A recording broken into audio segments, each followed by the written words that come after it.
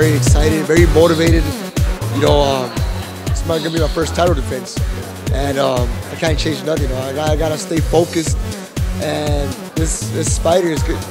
It's coming after me. It takes something that I worked so hard to get, so much dedication I put in there to get that belt, and I don't plan on leaving anytime soon. So I'm working extra hard to keep this belt. What do you feel is feels different from fighting in the Olympics versus a pro pro fight? It's way more exciting as a professional. You know, I guess a little, you know, it got you up and downs. Know, it's uh, better to make weight. It's better um, that I know who I'm fighting. As an amateur, you never know who you're going up against. But you know, uh, I'm grateful for that, that time I did as an amateur. I, I think the amateur career has helped me a lot now as a professional. Uh, one thing that the amateurs taught me is to always train for different styles, not always depend on one style. So that's helped me a lot as a professional. For you, you know, you're going to be fighting Osawa. Does that help you out? You were talking about ch- changing your training. Have you changed your training style for this upcoming fight? The training method has always been the same: working hard, working hard. The only thing we train is um, uh, strategy, strategies for each different fighter. And this fighter, you know, he's a he's an awkward fighter, tall fight, taller fighter than me. So I'm I'm guessing he's gonna try to use that reach on me. So we always work on different styles. You know, we've been sparring fighters that are taller than me, that put that pressure. So um, we're gonna be ready. We're gonna be ready, especially 100% ready for Osawa. I'm gonna give it my best, like I said, to maintain that belt with me. Were you studying him and like watching a different his different fights on tape or video and and seeing what the strengths? You know, you mentioned some of the strengths, but are there any really particular that you have to for you have to really watch out for? He's a I've seen him fight before. Like I said, he's a one thing that Japanese fighters have in common is they all got heart. You know, you can hit them with everything. They're gonna keep on coming forward. They're gonna, uh, you know, I've seen a lot of these Japanese fighters with the same mentality. Just come forward and give it what, give it their best. Um, so that's just not motivation. I gotta work hard for this guy. You know, like I can't expect to, uh, try to knock him out in the first rounds because if, uh, if I don't knock, him out, he's gonna come at them in the later rounds. So you know, I always gotta be concentrated for the, each fighter, each fighter, especially this guy. Um, like I said, he's he's a taller fighter. I know he's gonna try to use that reach on me, so I'm gonna try to uh, you know work on the body, uh, finish on top. You know, there's always a lot of things you can work on these fighters. You're talking about heart when it comes to Japanese boxers, and I'm sure you have a lot of heart.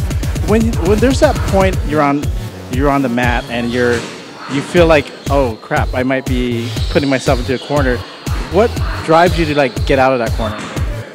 Um, one thing that motivates me a lot, that's helped me a lot every time I have a mind, it's my family.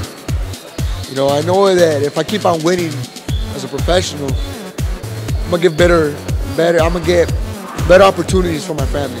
So that was always in my mind. That always motivates me. Um, I'm grateful to God that I have a family, and that, that that's a big motivation for me. That's like I said, me winning is gonna give them a better life. So I gotta keep on winning. That's my main my main mentality. And you're you're on you're gonna be in a card with with these two big Filipino boxers, of course, you know, the Manny Pacquiao and Nonito Donaire.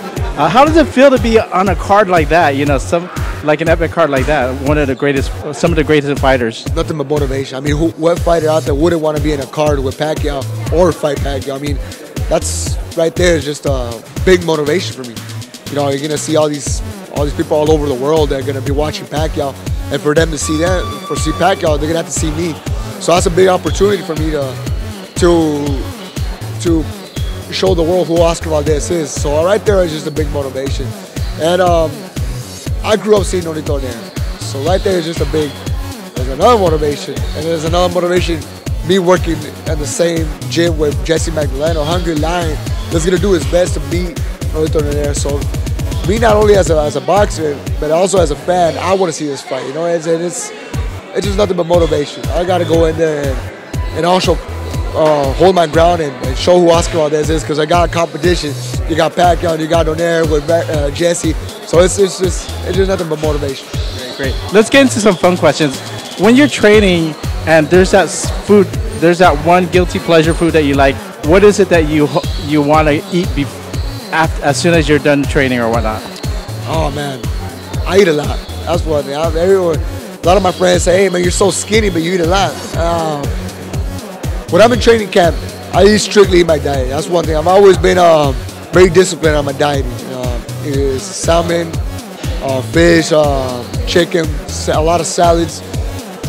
But I always have in my mind pizza, pizza, uh, hamburgers. Obviously, uh, I don't eat fast food, but you know, homemade burger, uh, uh, carne asada, you know, uh, you know, the tamales, you got everything. Uh, especially, I always think about my grandma's food or my mother's food, and that's always in my mind. But I always gotta stay disciplined, disciplined, and eat what I eat what I have to eat to maintain weight.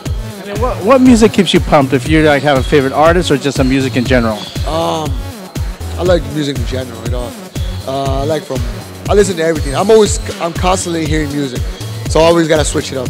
When I'm making, I, I drive two hours from uh, from Lake Elsinore to to Carson every day, so I'm always listening to music. Uh, when I'm in the gym, I'm listening to music.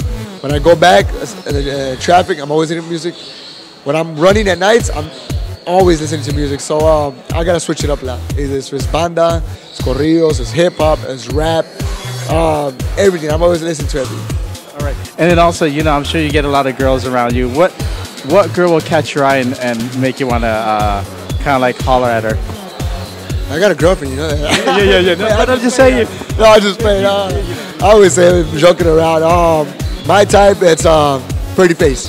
Doesn't have to be. Uh, doesn't have to be. Uh, body wise, if it's a perfect, if it's a, it's a, if, if she's beautiful and, and and she has a good personality, someone I can have a good laugh. with, That's my type of girl. Um, have fun, girl. Not nothing too special, nothing um too uh, thick or too.